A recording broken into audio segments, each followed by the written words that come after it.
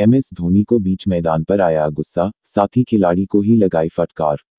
भारत और ऑस्ट्रेलिया के बीच खेले गए दूसरे वनडे मैच को टीम इंडिया ने छह विकेट से जीतकर सीरीज़ को एक ऋण एक की बराबरी पर ला दिया है। एडिलेड में भारत की जीत में अहम भूमिका निभाई टीम इंडिया के पूर्व कप्तान एम एस धोनी ने। माही ने इस मैच में चौवन गेंदों पर 55 रन की पारी खेली। लेकिन इस मैच में एक ऐसा समय भी आया जब कूल कूल रहने वाले धोनी को गुस्सा आया और उन्होंने टीम इंडिया के अपने साथी खिलाड़ी को ही फटकार लगा दी। इस मैच में धोनी जब दिनेश कार्तिक के साथ अंतिम समय में बल्लेबाजी कर रहे थे, तभी एक घटना घटी। धोनी को बीच मैदान पर ही गुस्सा आ गया।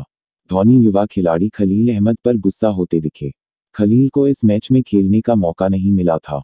उनकी जगह मोहम्मद सिराज को टीम में शामिल किया गया था। भारत की बल्लेबाजी के दौरान खलील धोनी के लिए पानी लेकर आए।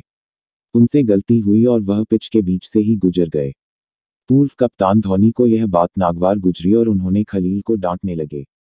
धोनी ने लगाया विनिंग शॉट